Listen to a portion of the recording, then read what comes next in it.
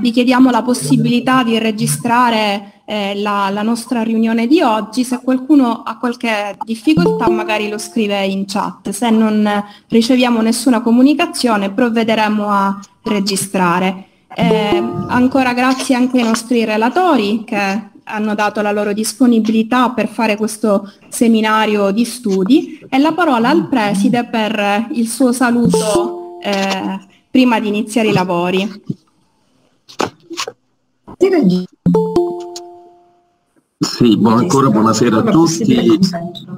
Il saluto sarà brevissimo e immediato. Anzitutto anch'io devo solo ringraziare, ringraziare, i relatori che hanno accettato l'invito, iniziando da Sua Eccellenza, Monsignor Domenico Scave, che è legato alla facoltà da antichi trascorsi, fu vicepreside in facoltà molto a lungo, il, il vicepreside che più a lungo di tutti ha esercitato questo ufficio. E poi naturalmente saluto i colleghi, la professoressa Trapani, la professoressa Oliveri e tutti coloro che stanno partecipando, i relatori che hanno accettato l'invito, così come eh, i partecipanti tutti. Grazie ancora per questa bella opportunità e buon lavoro. Grazie mille al nostro preside. Vi chiederei per favore di chiudere i microfoni in maniera tale che non ci siano ritorni di voce. Grazie. Ehm, allora, una piccola, un, una piccola, introduzione per capire il, il tema del nostro eh, pomeriggio eh, di riflessione. In occasione della festa del battesimo del Signore di quest'anno, il Santo Padre ha promulgato il motu proprio Spiritus Domini, in cui modificando il canone 230 paragrafo 1 del codice di diritto canonico, si afferma la possibilità di conferire i ministeri del lettorato e dell'accolitato a tutti i fedeli, in forza del battesimo e della confermazione. Nella lettera di accompagnamento indirizzata al prefetto della Congregazione per la Dottrina della Fede, Papa Francesco ha precisato il senso di tale scelta nel solco della Ministeria Quedam di Paolo VI, con cui sono stati riformati gli antichi ordini minori. Nel secondo millennio, infatti, gli ordini minori, da un'originale funzione effettiva aperta a chierici e laici, erano diventati esclusiva dei candidati all'ordine e riguardavano soltanto funzioni liturgiche, come sintetizzata al Concilio di Trento, siccome il ministero di un, così tanto, di un così santo sacerdozio è una realtà divina, era conveniente che per poter essere esercitato più degnamente e con il più grande rispetto vi fossero nella struttura perfettamente ordinata della Chiesa vari e diversi ordini di ministeri posti a servizio del sacerdozio e ripartiti in modo tale che quanti già avessero ricevuto la tonsura la tonsura clericale si elevassero dagli ordini minori agli ordini maggiori. In verità anche a Trento un decreto prevedeva la possibilità che nell'indisponibilità di chierici celebri potessero supplire nei ministeri dei quattro ordini minori anche uomini sposati di vita esemplare. Tale indicazione non venne però di fatto attuata. Nell'alveo del rinnovamento conciliare del Vaticano II, che ha riconosciuto il battesimo come fondamento comune di ogni ministero ecclesiale, Ministeria Quedam aveva rinnovato la disciplina riguardante gli ordini minori, distinguendo gli uffici propri dell'ordine sacro da altri ministeri ecclesiali ed aveva provveduto ad eliminare le funzioni legate agli ordini considerati non più necessari, concentrandosi sui menesteri effettivi, lettorato e accolitato, riservato non più soltanto ai chierici, ma secondo la veneranda tradizione della Chiesa agli uomini. In questa impostazione anche il ministero ordinato non veniva più espresso come una scala da salire, ma come chiamata a mettersi a servizio del noi ecclesiale. Con il motu proprio Spiritus Domini, Papa Francesco ha approfondito, nella linea di un armonico sviluppo, il magistero di Paolo VI, permettendo anche alle donne di avere accesso ai ministeri del lettorato e dell'accolitato, e ribadendo così la soggettualità liturgica di tutto il popolo di Dio, in forza dell'iniziazione cristiana. Come affermato dal pontefice, il variare delle forme di esercizio dei ministeri non ordinati non è la semplice conseguenza sul piano sociologico del desiderio di adattarsi alla sensibilità o alle culture delle epoche e dei luoghi, ma è determinata dalla necessità di consentire a ciascuna chiesa locale particolare, in comunione con tutte le altre e avendo come centro di unità la chiesa che è in Roma, di vivere l'azione liturgica, il servizio ai poveri e l'annuncio al Vangelo nella fedeltà al mandato del Signore Gesù Cristo. Il motu proprio, alla luce anche di Evangelio Gaudium, vuole quindi essere uno stimolo a interrogarci con urgenza e a ripensare i modi per vivere il Vangelo, non soltanto ridisegnando nuovi ministeri e figure funzionali alla vita della comunità ecclesiale, ma soprattutto ponendo al centro dell'azione pastorale la sfida di una Chiesa testimoniale, capace di superare l'artificiosa distinzione tra missione ad intra e ad extra, uno stile ecclesiale che metta al centro la natura missionaria del Vangelo, impegnando tutta la Chiesa, il popolo di Dio è infatti, per l'azione dello Spirito in forza del sensus fidelium, soggetto attivo chiamato a evangelizzare. Il pomeriggio di oggi intende approfondire il motu proprio a partire da focus differenti. Monsignor Domenico Mogavero svilupperà le implicazioni di tale riforma sul versante del diritto canonico, la professoressa Valeria Trapani dal punto di vista liturgico pastorale e la giornalista Alessandra Turrisi ci offrirà la sua personale testimonianza. Eh, non è chiaramente necessario fare una presentazione di Monsignor Mogavero, soltanto una piccolissima nota. Ha conseguito il dottorato in diritto canonico presso la Pontificia Università Lateranense, professore straordinario di diritto canonico presso la nostra facoltà e cultore di diritto canonico nella facoltà di giurisprudenza dell'Università di Palermo direttore dell'Ufficio Nazionale della CEI per i problemi giuridici, è stato anche sottosegretario della stessa CEI. Dal 2007 è vescovo della diocesi di Mazzara del Vallo. Grazie eccellenza per aver partecipato a questo nostro pomeriggio. Grazie a voi per l'invito e anche per questa opportunità di rientrare in facoltà non soltanto partecipe di alcuni eventi accademici, saluto giustamente il signor Preside che ha eh, richiamato i miei otto anni di vicepresidenza, ma soprattutto per questo momento di riflessione su un documento pontificio che, mm, togliendo due termini da, dal testo latino del, del, un termine dal testo latino del canone 230, ha fatto indubbiamente una piccola rivoluzione. E la mia riflessione ha tre punti. Una contestualizzazione ecclesiologica in cui riprendo alcuni degli elementi che sono stati adesso richiamati dalla professoressa Oliveri, un, un, un cenno sulla prospettiva sinodale della Chiesa e poi le implicanze canonistiche della lettera apostolica in forma di motu proprio Spiritus Domini. Questo motu proprio completa la significativa innovazione ecclesiologica di Paolo VI con il motu proprio ricordato Ministeri Aquedam del 15 agosto 72 che abolì appunto la tradizionale divisione dell'unica categoria di ordine sacro in ordini minori, ostiariato, lettorato, esorcistato e accolitato, io ai tempi li ricevetti tutti, e ordini maggiori su diaconato, diaconato e presbiterato. Lo stiarato fu abolito, il lettorato e l'accolitato rimasero, l'esorcistato fu eh, riservato esclusivamente ai vescovi in forma ordinaria, abolito anche il suddiaconato.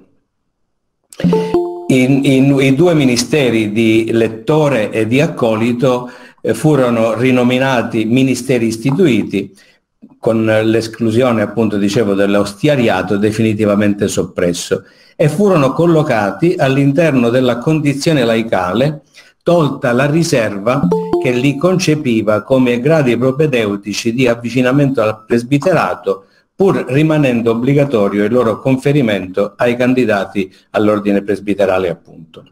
Permaneva tuttavia una connotazione prevalentemente liturgica di tali ministeri, e restava discriminante l'esclusione delle donne, tanto più incomprensibile e contraddittoria in quanto era ammesso l'esercizio di fatto del ministero do- di lettore alle donne nella liturgia e nella catechesi e anche quello di ministrante abbastanza similare, analogo per certi versi, un'analogia molto labile, al ministero di accolito. In ogni caso rimaneva nell'ombra il fondamento teologico di tali ministeri, e cioè Spiritus Domini, che determinati ministeri istituiti dalla Chiesa hanno per fondamento la comune condizione di battezzato e il sacerdozio regale ricevuto nel sacramento del battesimo. cenni di contestualizzazione ecclesiologica, i tempi sono abbastanza ristretti, non vado. Prospettiva sinodale. Il quadro ecclesiologico che prende luce e vigore dal Magistero del Vaticano II si rafforza e viene letto nella prospettiva sinodale alla quale si richiama insistentemente Papa Francesco c'è qualche interferenza sento eh, eh, alla quale si richiama insistentemente Papa Francesco, per il quale la sinodalità, eh, in, nel discorso fatto in occasione della commemorazione del cinquantesimo anniversario dell'istituzione del Sinodo dei Vescovi, il 17 ottobre 2015, per il quale la sinodalità è dimensione costitutiva della Chiesa.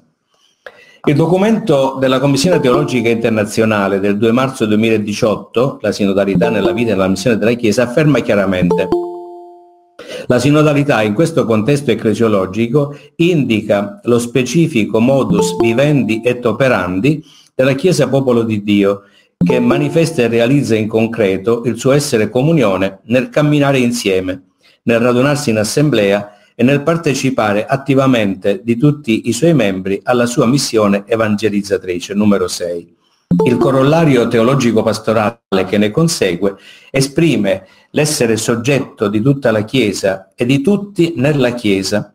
I credenti, è sempre questo documento della Commissione teologica, i credenti sono siunodoi, compagni di cammino, chiamati a essere soggetti attivi in quanto partecipi dell'unico sacerdozio di Cristo e destinatari dei diversi carismi elargiti dallo Spirito Santo in vista del bene comune numero 55. Di più, la dinamica sinodale promuove la dignità battesimale e la corresponsabilità di tutti. Questo termine corresponsabilità e l'aggettivo corresponsabile sostituisce il termine collaborazione e collaboratori che era un po' il punto forte della ministerialità laicale precedente al concilio o nell'immediato post concilio. La dinamica sinodale promuove la dignità battesimale, la corresponsabilità di tutti, valorizza la presenza dei carismi diffusi dallo Spirito Santo nel popolo di Dio, numero 72, ed evidenzia quanto sia perciò essenziale la partecipazione dei laici, numero 73, alla missione della Chiesa e quanto sia di contro deprecabile qualsiasi espressione di una, numero 73, mentalità clericale che rischia di tenerli ai margini della vita ecclesiale. Implicanze canonistiche. Le due dinamiche appena richiamate son, non sono il ricamino ornamentale per aggraziare il tema e renderlo appetibile all'ascoltatore. Rappresentano invece, nella mia concezione del dato istituzionale, l'elemento fondativo che qualifica e sostanzia la peculiarità del diritto canonico.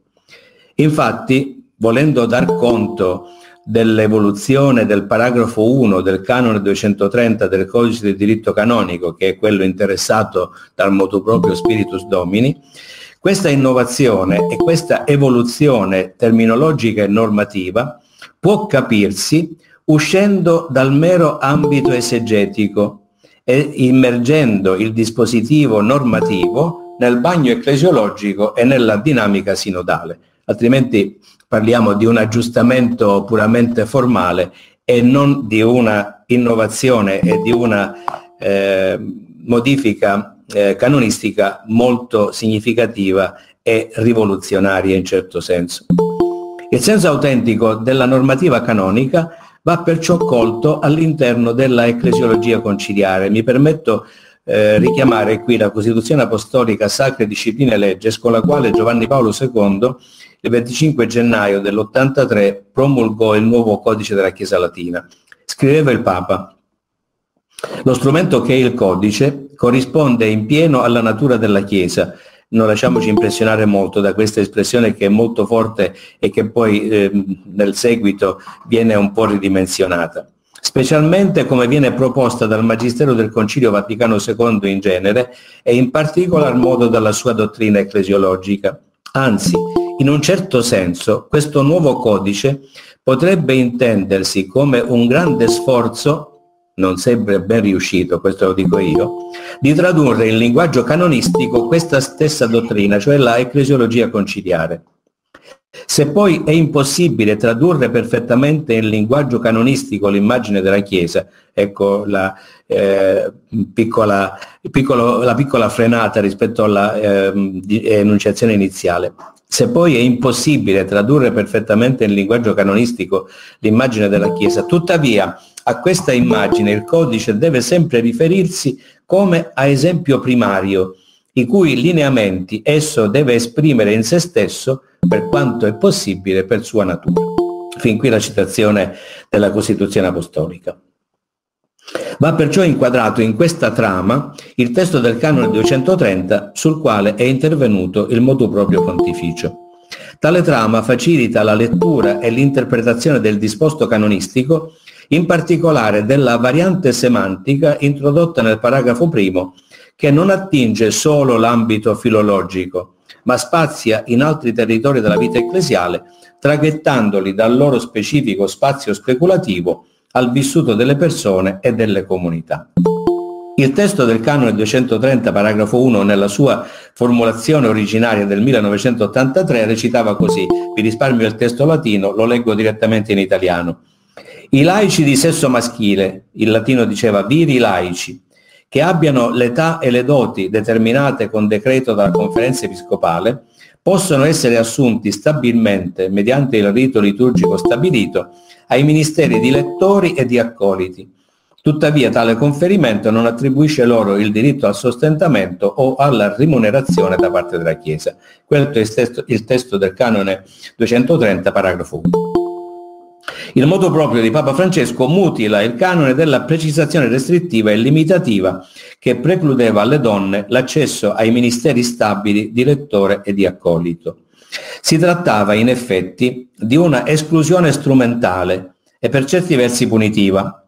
Infatti il, testo, il tenore dei paragrafi successivi, il 2 e il 3 dello stesso canone, denunciano chiaramente che si trattava di una disposizione frutto di un ingiustificato pregiudizio che aveva sacralizzato l'ambito liturgico facendolo monopolio di quanti erano insigniti del sacramento dell'ordine e derivando perciò da ciò l'esclusione delle donne. Equivoco assolutamente anacronistico, ridimensionato dallo stesso codice nei paragrafi 2 e 3, dai quali si desume che non esiste una incapacità radicale all'esercizio di tali ministeri da parte delle donne, pur se il paragrafo secondo non parla di ministeri, bensì di funzioni, sottigliezza terminologica che non risolve la questione ecclesiologica e sinodale.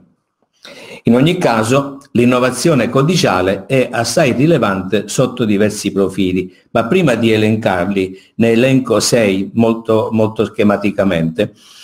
Eh, metto in guardia da, da, da un equivoco eh, che qualcuno potrebbe potrebbe tirar fuori, e cioè che ci troviamo di fronte a una clericalizzazione delle donne con questa apertura eh, alla, al Ministero istituito di lettore e di accolito che farebbe perdere la condizione laicale alle stesse. Io ritengo invece che al contrario siamo di fronte a una ridefinizione della ministerialità che diventa così una ministerialità diffusa e non selettiva o preclusiva.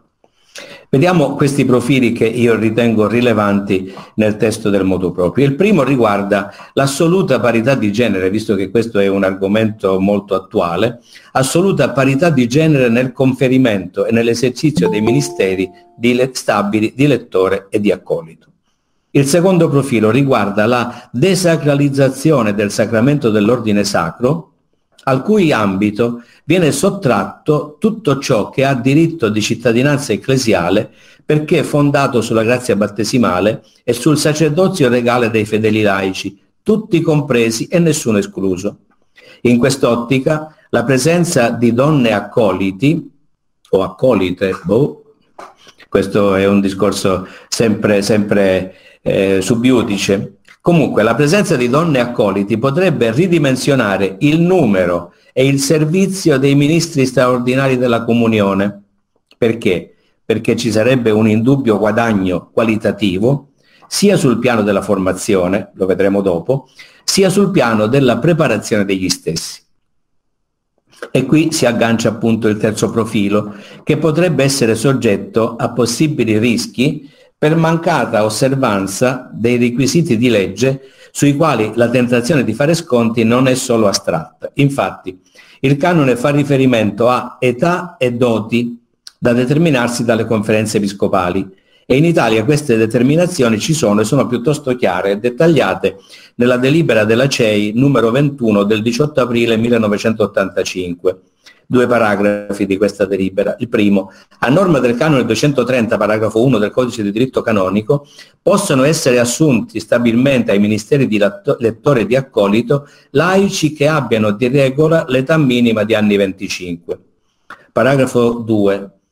Le doti fondamentali richieste nei candidati, che l'ordinario riconoscerà su attestazione del parroco, e qui potrebbero venire fuori gli sconti, sono maturità umana, buona fama nella comunità cristiana, pietà, adeguata preparazione teologico-liturgica, collaudata attitudine all'impegno pastorale, disponibilità per il servizio nella diocesi. Come si può vedere non si tratta di poca cosa o di condizioni facilmente riscontrabili in chiunque si autocandidi per il Ministero.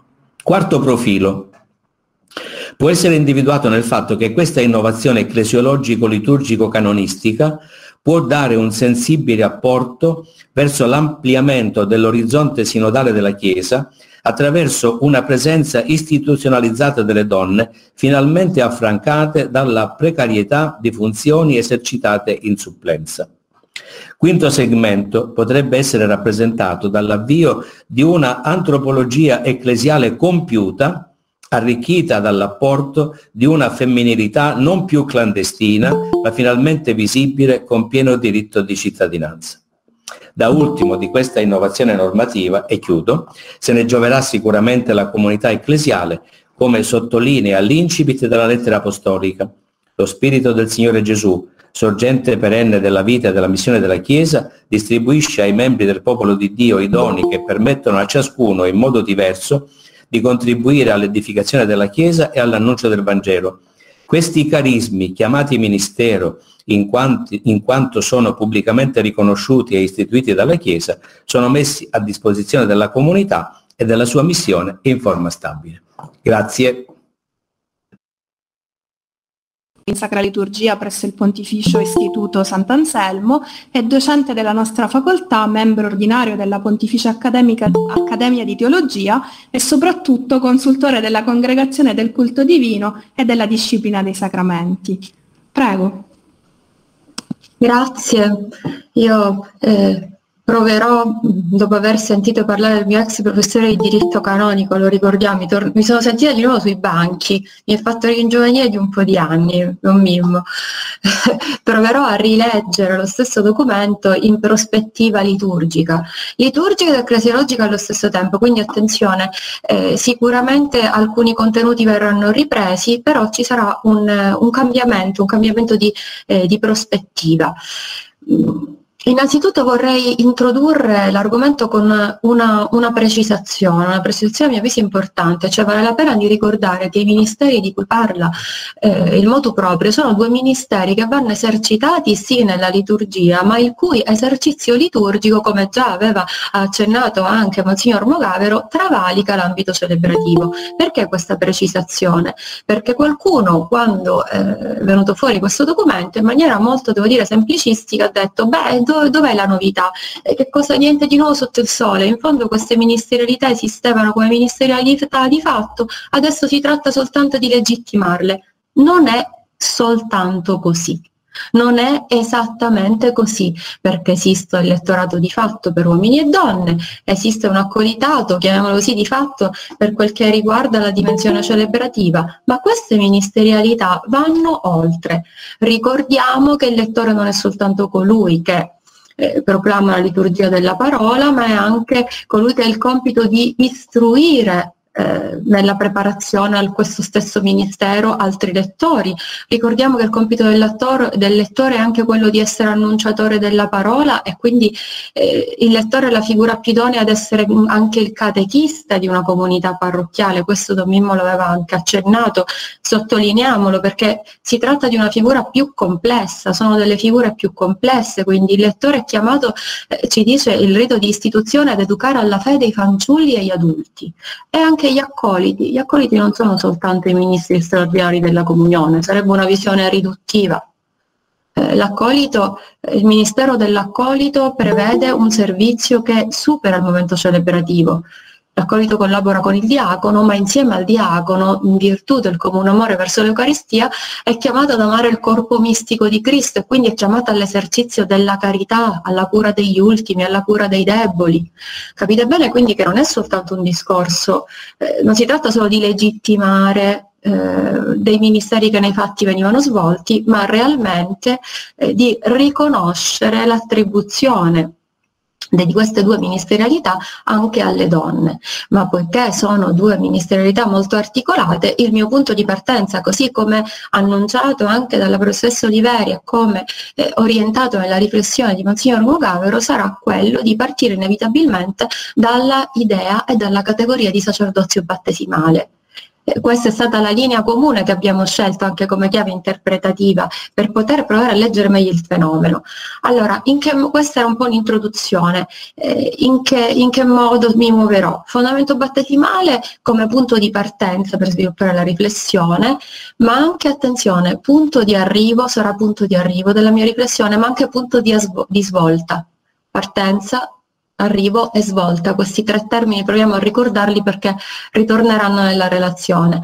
Eh, in questi pochi minuti in cui ci intratterremo io svilupperò la riflessione in tre punti. Vi annuncio un po' di così forse è anche più discorsivo. La modalità online non è sempre felice, io non riesco a vedere tutti i miei interlocutori e questo per il mio modo di essere per esempio mi crea una difficoltà, credo che anche per voi sia lo stesso. Allora proviamo a, a lavorare insieme su questo, tre punti.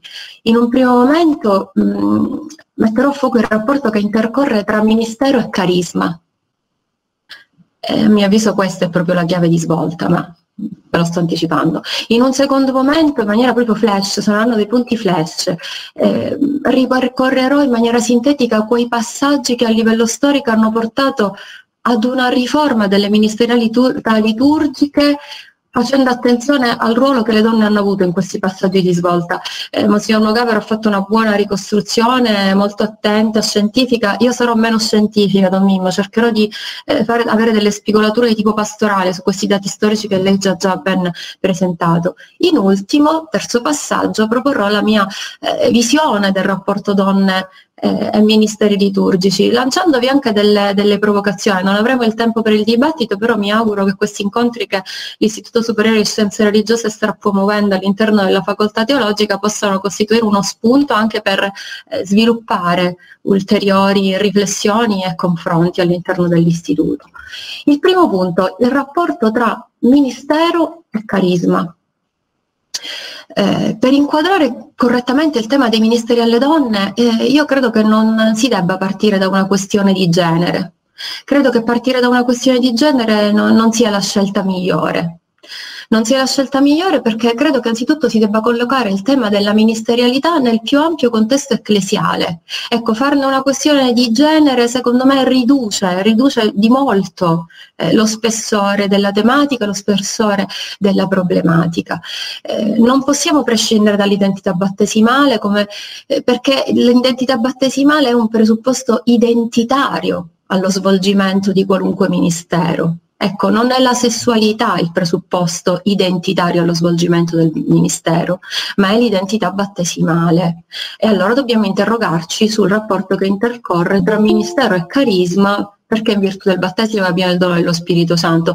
E a mio avviso, vi anticipo un po' la conclusione, è proprio questo rapporto tra ministero e carisma che risolve il problema dell'identità di genere, perché il rapporto tra ministero e carisma legittima qualunque ministero superando, andando oltre l'identità di genere. non posso non far riferimento ad Agentes numero 4, un paragrafo in cui eh, si parla dell'azione dello Spirito Santo, dispensatore di carismi, dispensatore di ministeri, eh, attraverso i compiti della comunione, della diaconia, eh, tutti sicuramente conosciamo questo documento, da cui si evince che la eh, struttura carismatica è fondamento di tutto de- nella Chiesa. E il tema della ministerialità risponde all'esigenza di valorizzare e riscoprire questa dimensione carismatica della Chiesa. Cioè c'è una rispondenza stretta tra carisma e ministero. E allora quando noi parliamo di laici, forse non dovremmo parlare di laico come termine di distinzione, ma dovremmo parlare piuttosto di battezzato come termine di uguaglianza, non una chiesa di uomini, non una chiesa di donne, ma piuttosto una chiesa di uguali eh, in cui l'uguaglianza tra tutti i cristiani è da intendersi come dottrina chiave per la costruzione della chiesa. Attenzione, sembra un po' provocatorio perché noi sappiamo che il Concilio insiste anche sulla diversificazione ministeriale. Io sto partendo invece da eh, un, un, punto comune, da una base comune e faccio riferimento, mi piace fare riferimento ad uno studio eh, che qualcuno potrebbe considerare forse un po' datato perché è uno studio che ha quasi 40 anni di Luigi Sartori che Monsignor Vocavero conosce bene perché lei è l'editore del volume al cui interno c'è questo studio di Sartori, uno degli atti dei primi convegni su eh, laici e chierici, donne e teologia che si svolse eh, a Palermo quando ancora forse non era neppure facoltà teologica ma istituto teologico. Eh, Sartori ricostruisce un po' il vocabolario paolino sulla ministerialità. E che cosa dice? Osserva che ci sono tre termini per riferirsi ai ministeri. E ognuno di questi tre termini, badate bene, fa riferimento ad una delle persone della Trinità. Ossia, Paolo adopera il termine carisma in rapporto allo Spirito Santo, sottolineando la gratuità del dono divino. Paolo adopera il termine ministero in rapporto a Cristo, che con la sua kenosi si fa servo, Paolo adopera il termine operazioni in rapporto al Padre. Noi ci soffermiamo su carisma e su ministero, termini che nella lettura che Sartori fa di, eh, della teologia paolina sono termini equivalenti. Carismaticità e ministerialità si equivalgono perché la ministerialità sottolinea la forma Cristi del carisma. Attenti a questo passaggio importante. La ministerialità nella Chiesa allora è il segno della sua carismaticità. La ministerialità è segno della carismaticità e la carismaticità è un dato fondamentale nella Chiesa. E questo ce lo dice il Consiglio Vaticano II e questo viene ripreso, cito così semplicemente faccio riferimento al documento della CEI del 1977, Evangelizzazione e Ministeri, che riprende questa visione allora cosa significa? Che non dobbiamo sottolineare solo i carismi straordinari nella Chiesa, ma tutti i carismi il cui fine è quello di sollecitare l'indole ministeriale nella Chiesa. Dunque piena rispondenza tra ministero e carisma. In realtà però ciò che io voglio porre all'attenzione di oggi è proprio la difficoltà di attuare questa corrispondenza tra ministero e carisma. Quello tra ministero e carisma eh, a me sembra un matrimonio non sempre ben riuscito. Molti matrimoni pare che vadano avanti perché si convive, si sta insieme, però forse a volte si sta un po' stretti, eh, a volte non si interagisce bene. Ecco, mi piace portarla su questo piano, magari un po' che alleggerisce, però per dare l'idea di, una, di un problema in atto, secondo me, nella comunità ecclesiale. Perché? E adesso torniamo a dirlo a un linguaggio un po' più scientifico. Perché struttura ministeriale e struttura carismatica, guardate che non si corrispondono. A fronte di questa meravigliosa teologia paolina, in realtà non sempre c'è una corrispondenza. Perché? E già questo guardate che in termini canonistici l'ho anticipato in maniera abbastanza evidente la relazione con signor Mogavero. Perché se è vero che ad ogni ministero corrisponde un carisma, cioè che ogni ministero è il risultato di un carisma, non è altrettanto vero il contrario, cioè non necessariamente ogni carisma è un ministero, non necessariamente ogni carisma che viene donato alla Chiesa si traduce in un ministero. Perché? E il perché è semplice quanto problematico, attenzione, semplice quanto problematico, perché mentre i carismi sono il dono dello spirito, i ministeri sono nelle mani della Chiesa che deve gestirli. E di questo è prova l'esistenza di ministeri riservati soltanto agli uomini. Ecco che si va ad interrompere, a spezzare quella corrispondenza, che si va a rompere quel matrimonio tra ministero e carisma. Ecco perché dico matrimonio non sempre ben riuscito, perché ci troviamo di fronte alla presenza di carismi che non riescono a tradursi in ministeri. La domanda allora è e diventa interessante capire come da presupposti conciliari inequivocabili, il sacerdozio battesimale, il sacerdozio comune, l'uguaglianza la struttura carismatica, come da tutto questo si arrivi all'attuale condizione di disparità della donna nell'attribuzione dei ministeri liturgici, tanto da dover attendere il 2020 per avere la commissione di studio sul diaconato femminile mi fa piacere che qui tra di noi, tra di noi ci sia la professoressa Serena Noceti che tanto ha scritto, studiato e pubblicato su questo tema e, e dobbiamo aspettare, abbiamo dovuto aspettare anche il 2021 per vedere attuato uno dei principi cardine della riforma con il riconoscimento dei ministeri istituiti di lettore accolito a tutti i battezzati indipendentemente dal genere. Eh, capite che questo solleva una domanda. La domanda mi traghetta velocemente al secondo punto che tratterò in maniera veramente ipersintetica, in modo flash, e cioè riforma liturgica e ministeri laicali. Come siamo arrivati a questo? Cito brevemente tre passaggi di tre pontefici, Paolo VI, Giovanni Paolo II e Papa Francesco. Eh, tre passaggi per i quali mi renderò forse un po' antipatica, visto che sono tre papi tutti e tre amatissimi, ma eh, io gli sto facendo un po' le pulci per capire come siamo arrivati a questo risultato.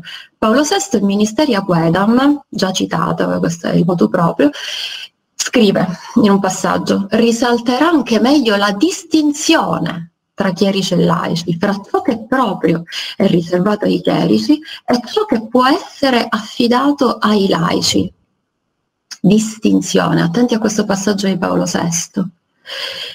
E poiché i ministeri, abbiamo già detto prima, questi ministeri dell'elettorato accolitato sono derivanti dal sacramento dell'ordine, non è strano che le donne ne siano state escluse in quel momento perché se si parla di distinzione e questi ministeri erano appena stati scorporati dal sacramento dell'ordine, ancora forse mh, odoravano troppo di sacerdozio ordinato e quindi eh, inizialmente le donne ne sono state escluse.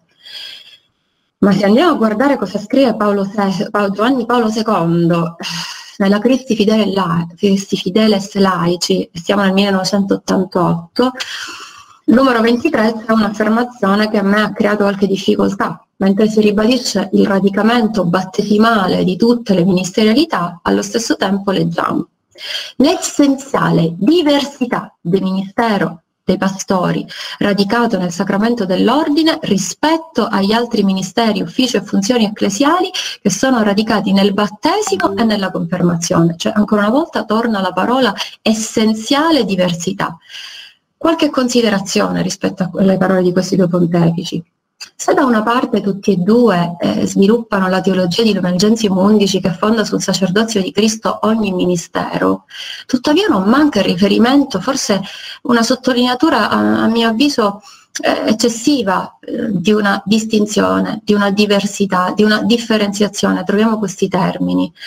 E se in fondo questa differenziazione, guardate, la, la, potremmo anche ricondurre alla teologia paolina del corpo, delle membra, dell'articolazione, la diversa strutturazione della Chiesa.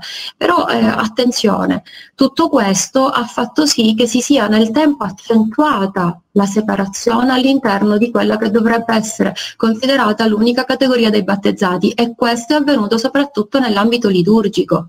La soggettualità liturgica della Chiesa, di cui tanto parla Sacrosanctum Concilium, lancio questa domanda, possiamo considerarla realmente, efficacemente, concretamente realizzata nelle nostre assemblee liturgiche?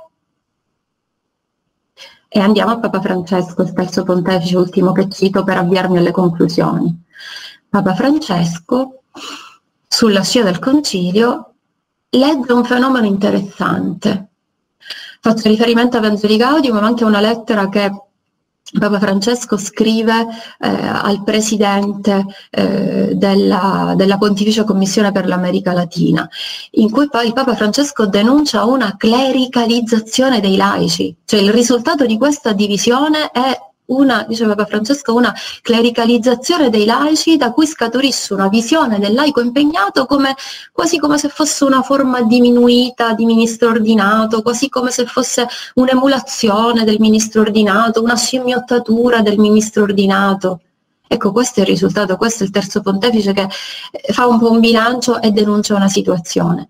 D'altra parte, devo dirvi che personalmente non sono stupita da questo risultato perché se andiamo a guardare il codice di diritto canone, canonico, non me ne voglia, Monsignor Mogavero, dove si, si, spiega cosa sono i chierici e cosa sono i laici, si definisce bene cosa sono i chierici, mentre poi si conclude dicendo eteri sunt laici, cioè tutto ciò che non è chierico sono eh, i laici. Su questa cosa, argomento ci siamo già confrontati tantissimi anni fa, ricordo quando ero ospite una volta nella diocesi di Mazzara, nel 2008, credo, una settimana liturgica nazionale. Sarebbe interessante anche svilupparlo questo. E allora passo al terzo punto, cioè la mia conclusione, la mia conclusione che è anche una, una provocazione. Ma allora che cosa sono i laici? Se ceteri sunt laici, chi sono i laici? Che cosa sono i laici? Quali possono essere i ministeri loro riservati? Cioè sono tante le domande. Eh, la provocazione che vogliamo lasciare, lanciare è quella di puntare invece piuttosto che eh, parlare di differenziazione. Quando parliamo di ministeri, dobbiamo veramente differenziare tra uomini e donne? È davvero necessario questa differenziazione nella vita della Chiesa, cosa che abbiamo fino ad ora fatto? Non potremmo piuttosto puntare su ciò che unisce? E allora se dobbiamo puntare su ciò che unisce, la categoria di sacerdozio battesimale diventa la chiave interpretativa del fondamento dell'unità della Chiesa. Eh, mi piace citare un, il pensiero di Andrea Grillo, un collega liturgista che pochi anni fa credo fosse il 2018, durante un convegno pubblicamente propose il superamento della nozione di laico in favore della nozione di battezzato. È una proposta non da poco, scusate, non da poco che sicuramente trova il suo fondamento nel Concilio Vaticano II, eh, però parlare della nozione di batte- battezzato come superamento della nozione di laico significa che essere uomo o essere donna è indifferente rispetto alla traduzione di un carisma in ministero. Attenti perché sto dicendo, sto facendo un'affermazione molto pesante. Se il fondamento del ministero è il battesimo, allora bisogna prescindere e allora il fondamento del ministero non risiede nella magicità, non risiede nell'essere uomo, non risiede nell'essere donna. Mi piace ricordare anche eh, Cettina Militello, la professoressa Militello, le cui pubblicazioni non possiamo certo elencare adesso, quando insiste sulla dimensione profetica del cristiano, posta a fondamento delle ministerialità. Allora il messaggio con cui concludo, il messaggio che vorrei passasse è quello che la Chiesa sulla lunga scia post-conciliare debba ancora tanto impegnarsi, tanto, in vista della realizzazione della piena soggettualità liturgica del popolo di Dio, perché da liturgista dico che qui c'è un problema di soggettualità liturgica del popolo. Popolo di cui facciamo parte tutti, laici e chierici, eh? Attenzione, il superamento di qualunque forma di divisione eh, è laddove uguaglianza non significhi laicizzazione del chierico o clericalizzazione del laico, perché attenzione, nel postconcilio c'è stato anche questo, per annullare le distanze a volte anche un annacquare l'identità del ministero ordinato, non parliamo né, né di clericalizzazione del laico qui né di laicizzazione del chierico. E allora mentre siamo grati a Papa Francesco per aver ripreso il cammino della riforma liturgica, per aver dato spazio a tante donne nella vita della Chiesa, prima eh, la professoressa Oliveri eh, ricordava che sono consultore alla congregazione del culto divino, cioè abbiamo aspettato 21 secoli perché una donna entrasse in una congregazione vaticana. Scusatemi. Tra parentesi, non c'è il bagno delle donne in congregazione, chiuso la parentesi, significherà qualcosa. Eh, dico, mentre siamo grati a Papa Francesco, eh, io auspico il superamento di paradigmi che non siano conformi al concilio, ma che ancora oggi resistono negli ambienti ecclesiali. Paradigmi anticonciliari che ci portano ad inquadrare come una questione di genere quella che a mio avviso invece è una questione ecclesiologica, è una questione teologica, è una questione liturgica. Eh, e mi fermo qui.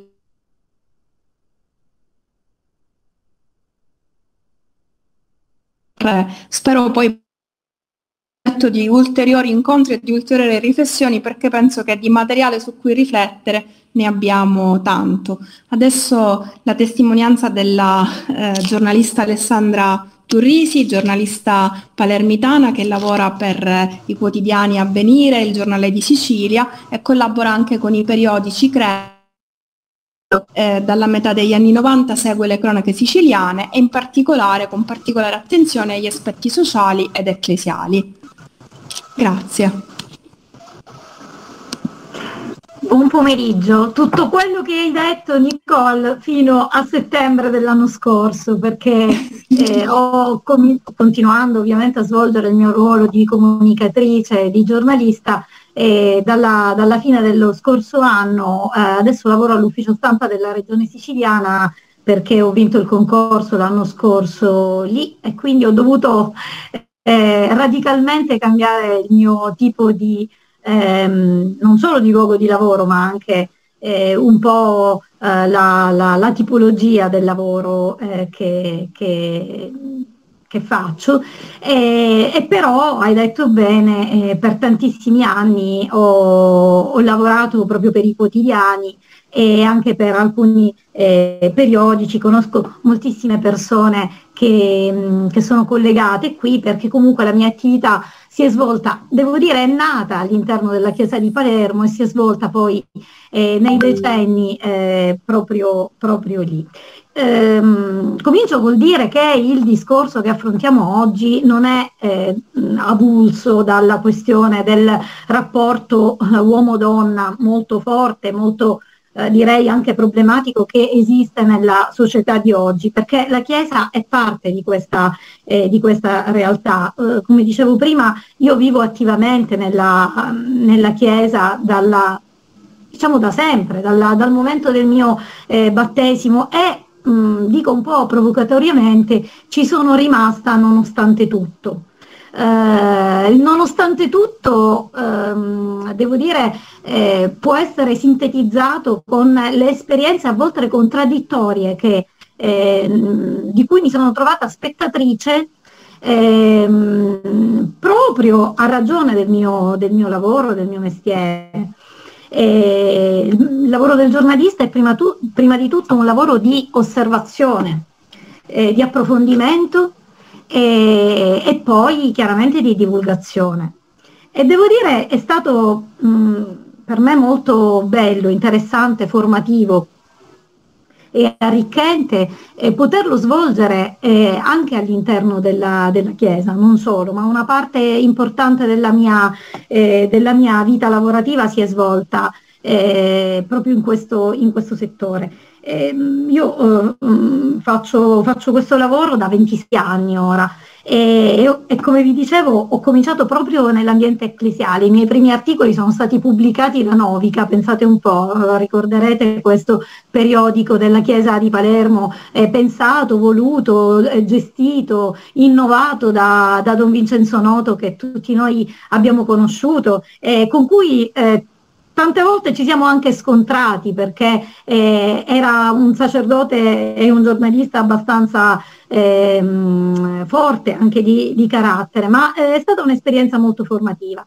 E dopo ho cominciato a lavorare per, eh, per realtà laiche, come appunto può essere il giornale di Sicilia, pos- come possono essere altre, eh, altre, mh, altri periodici eh, ma ehm, gran parte di questa mia esperienza, eh, dicevo, si è svolta nell'ambito ecclesiale perché io sono stata collaboratrice del quotidiano Avvenire per vent'anni ehm, e poco prima ho fatto anche un'esperienza eh, sempre di collaborazione con eh, l'osservatore romano, ma stiamo parlando della fine degli anni 90.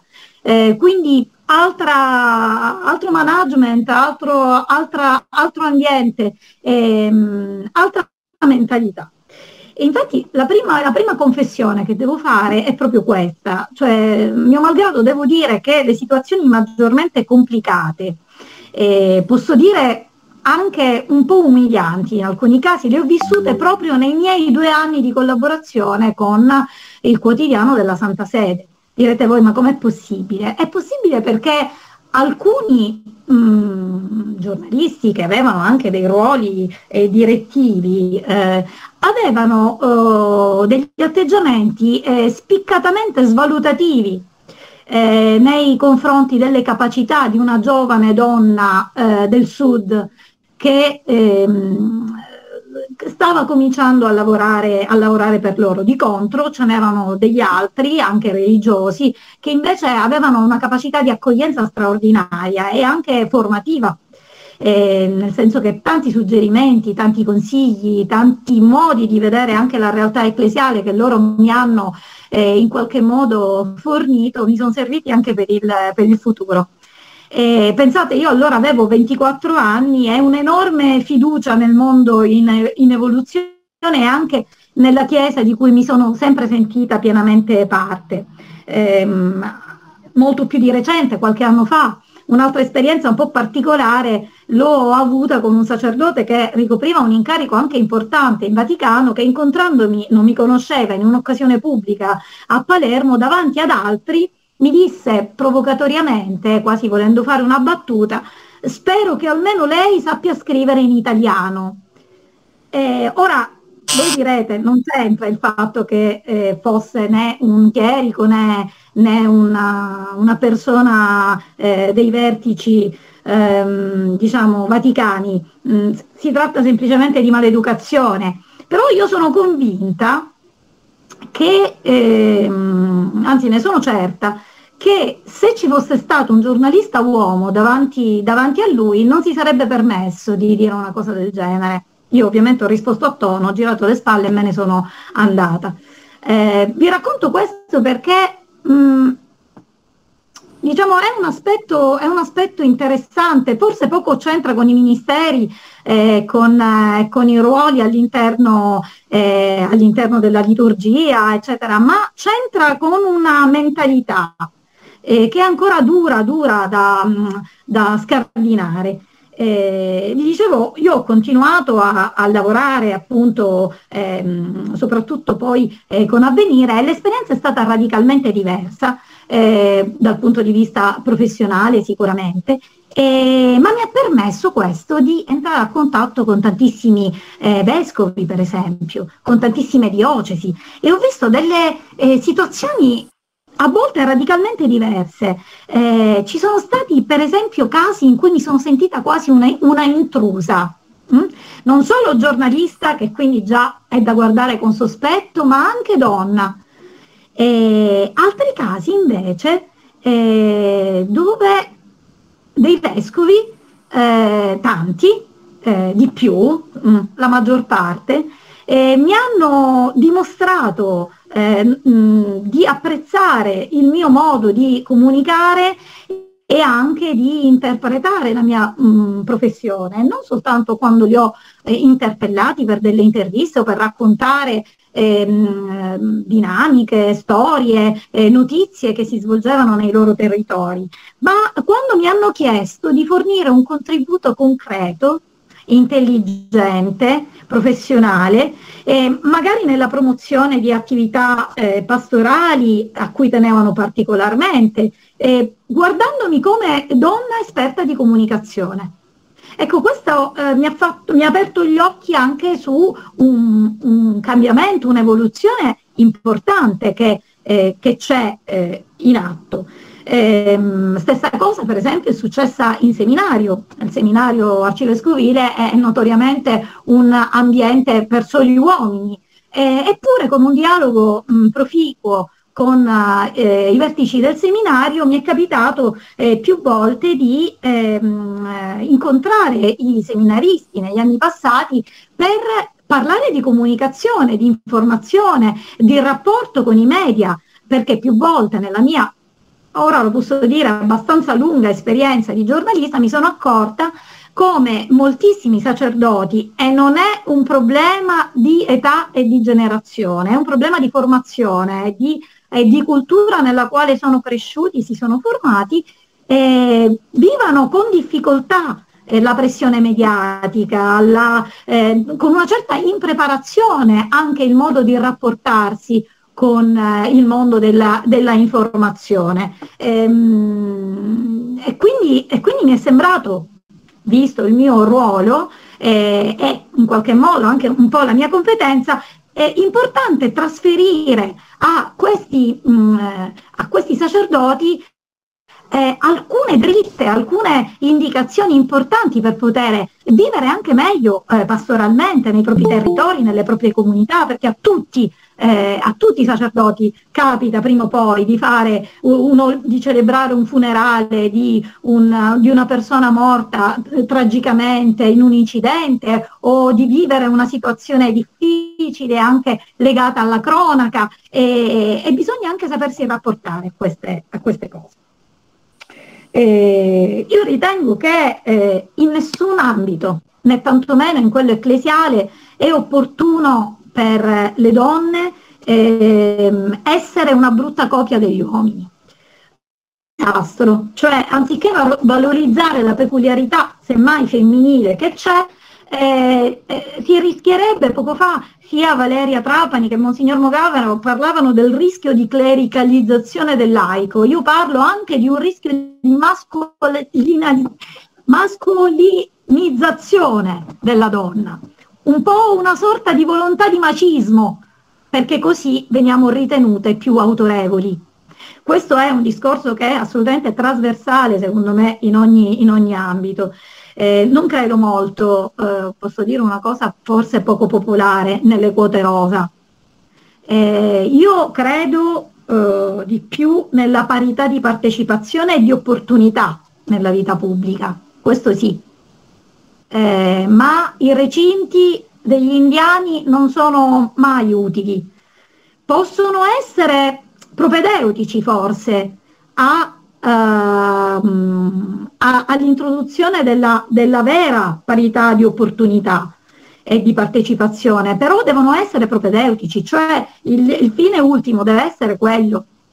Eh, un mio vecchio caposervizio eh, del giornale regionale, eh, molto misogino ma dotato di acume di giudizio, eh, amava ripetere una, una battuta, eh, diceva quando una donna vale quindi quando? Quando una donna vale, vale due uomini. In, e ovviamente questa battuta strappava mm, anche un po' un sorriso in tutti, ma in, qualche modo conteneva un fondo di verità, cioè la donna forse fa paura in, alcune, in alcuni contesti, in alcune situazioni. Eh, mi è capitato spesso di sentire ripetere a uomini delle istituzioni che c'è bisogno di donne valide non ho mai sentito ripetere agli stessi personaggi eh, c'è bisogno di avere uomini validi. Mai, mai, mai. Lo, lo posso sottoscrivere questo. E, ehm, questo un po' per raccontarvi la mia esperienza da cui, da cui partiamo. Uh, io ho molta fiducia nelle relazioni comunicative, altrimenti non farei il mestiere che faccio. Eh, però per generare fiducia necessaria, sono necessarie alcune, eh, alcune virtù, alcune situazioni mh, mm, da cui non si può derogare. Penso alla sincerità, penso alla franchezza, penso all'affidabilità, alla credibilità, perché si ritiene che l'altro parli nella verità eh, o nella cosa più vicina che ci può essere alla verità, se la verità è tanto dibattuta e, e controversa tante volte. Possiamo, vogliamo parlare di parresia, eh, un termine che è molto caro eh, al mondo, al mondo della, della, Chiesa, al mondo dei primi cristiani. Eh, ecco, forse il complimento più bello che mi sono sentita rivolgere da una persona eh, in relazione al mio modo di parlare con gli altri eh, anche autorevoli e in situazioni delicate è questa. Mi piace il tuo modo di dire le cose, tu parli con parresia. Eh, questa cosa mi ha, mi ha, fatto riflettere molto. Forse è il modo diretto, franco, eh, con cui eh, si possono dire appunto delle, eh, delle, verità, ma presuppone anche un pizzico di coraggio, era il coraggio dei primi cristiani che annunciavano il Vangelo. Eh, lo dice anche Papa Francesco, lo dice Papa Francesco in, un, in un'omelia a Santa Marta proprio un anno fa, parlando appunto del libro degli Atti degli Apostoli. Eh, ci vuole franchezza, ci vuole, ci vuole coraggio ehm, a volte a rischio anche della incolumità fisica, della propria reputazione, anche compromettendosi in prima persona, a volte mh, anche eh, non volendosi preoccupare delle conseguenze che ci possono essere, perché comunque questo può risultare scomodo. E questa cosa mi ha fatto riflettere anche per il modo in cui io svolgo la mia professione, in qualunque ambiente io lo svolga. La svolga. A che punto siamo? A che punto siamo eh, nella Chiesa? Papa Francesco eh, ha chiesto sempre che una donna sia vice della sala stampa eh, vaticana. Credo che sia la seconda adesso, questa Christian Murray. Um, un segno, sì, un segno.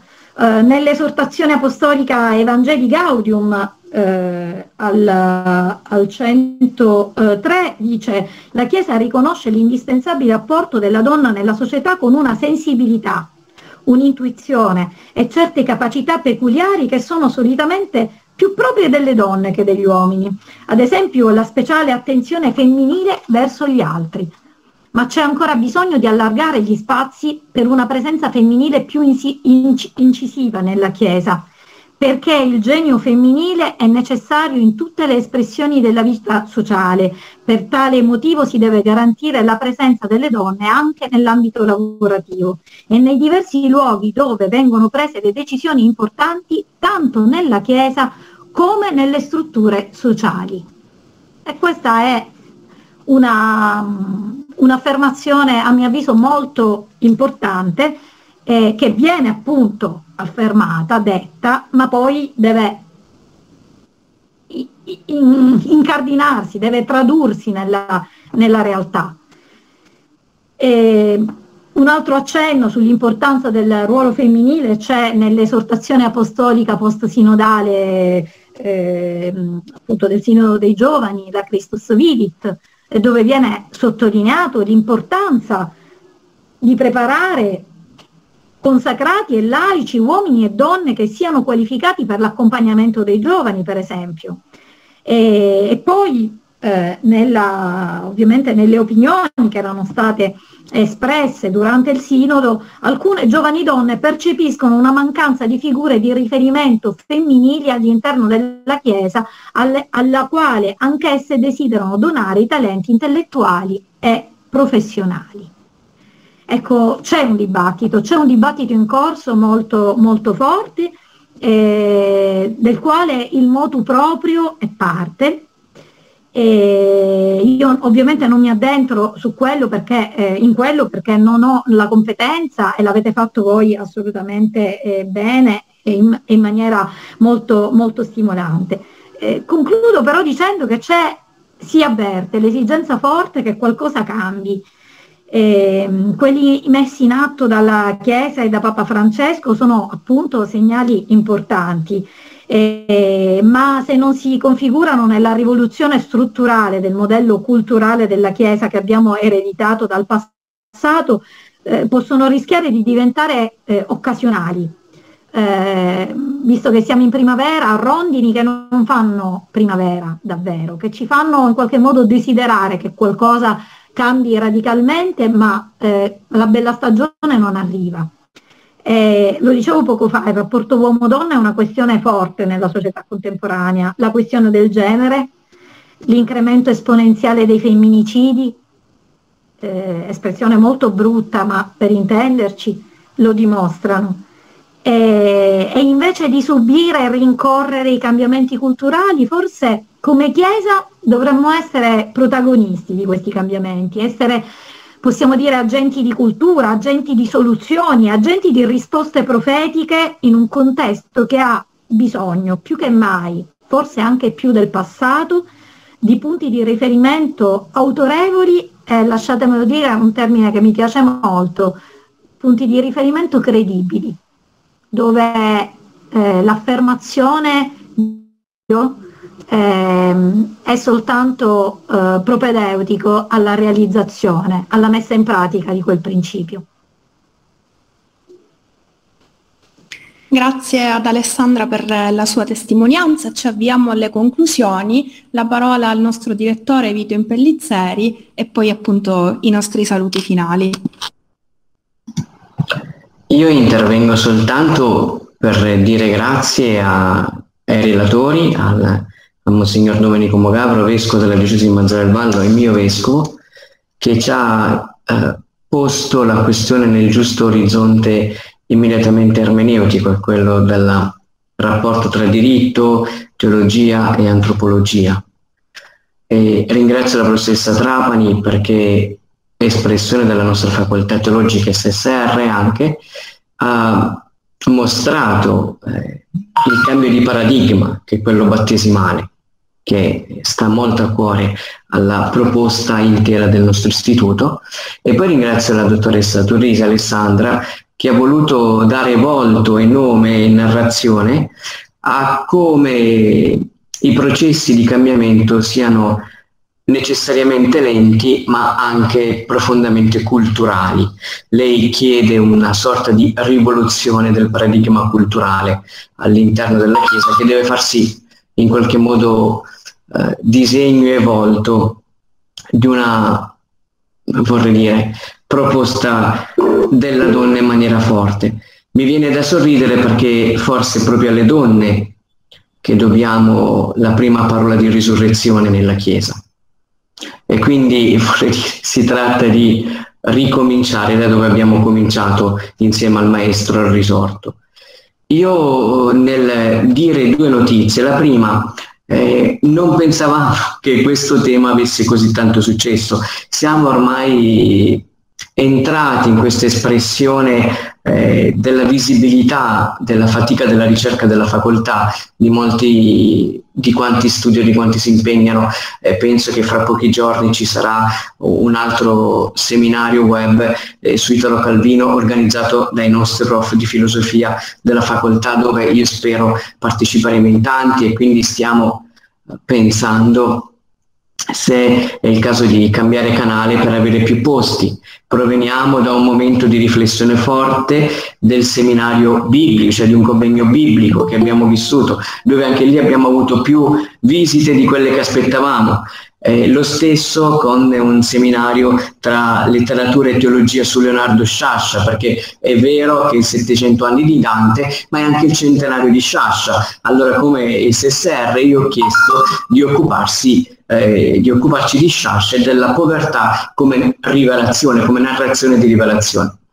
Eh, stiamo imparando ad abitare questa nuova realtà in cui la facoltà eh, come dire, partecipa e, e, e, rende sperimentabile anche la fatica dello studio, della ricerca, del dibattito, per rispondere in maniera molto forte al compito pubblico della teologia, perché la teologia ha un compito pubblico, che è quello di inserirsi nei dibattiti culturali, sociali, eh, probabilmente religiosi, filosofici, politici anche, per dare il contributo della fede. La capacità, diceva uh, Aldonaro, bisogna tornare a pensare. Questo è il compito anche pubblico della teologia. E Papa Francesco, nella Fratelli Tutti, dice bisogna pensare, perché pensare è un dovere ed è una responsabilità. Scusate, nella Laudato sia il numero 83, non nella Fratelli Tutti. E detto questo, tutto quello che abbiamo vissuto oggi è stato registrato, adesso abbiamo per la prima volta anche uno staff tecnico di comunicazione all'interno della segreteria in facoltà sarà montato e sarà reso disponibile. Io con alcuni già su WhatsApp ho detto non vi preoccupate perché renderemo disponibile il link eh, sulla pagina di facoltà. Quindi io faccio un ultimo appello. Vale la pena di visitare il sito della facoltà per quanto possa sembrare un sito per addetti ai lavori, non lo è perché nel, trovate sempre le nostre proposte, e i nostri seminari eh, accessibili e tutta la fatica della nostra ricerca, oltre alle nostre pubblicazioni. E mi piace dire che una scelta immediata come quella che c'è stata dopo il seminario su Sciascia, anche questa volta si è verificata la scelta immediata, noi continueremo ad occuparci di questo tema e quindi condivido che subito dopo questo incontro, per favore, i relatori insieme al preside a me e a Nicole ci fermiamo per fare il punto, una restituzione dell'esperienza e anche per scegliere come proseguire su questo eh, tema, tema, profondamente delicato, ma eh, come dire, non nella, nell'emergenza tipo i migranti, ma nell'urgenza del regno di Dio, perché credo che il cominciamento del regno di Dio nel terzo millennio abbia forse in maniera bellina anche i passi delle donne. Quindi lascio la parola al preside e poi così a Nicole.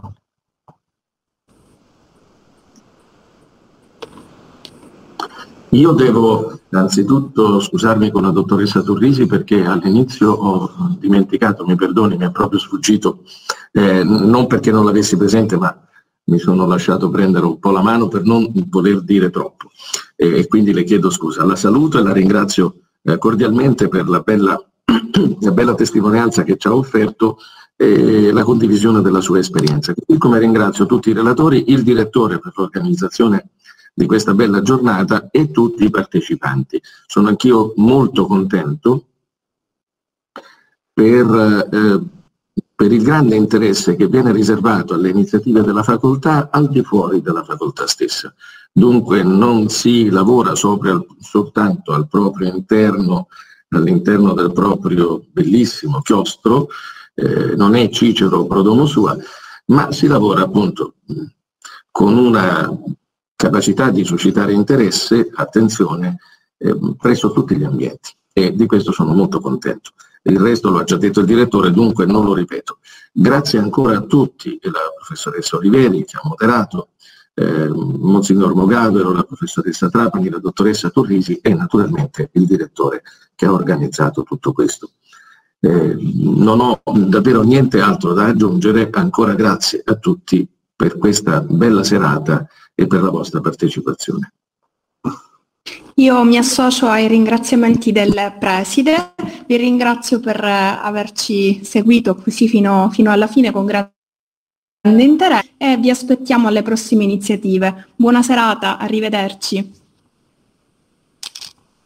Buona serata a tutti, grazie.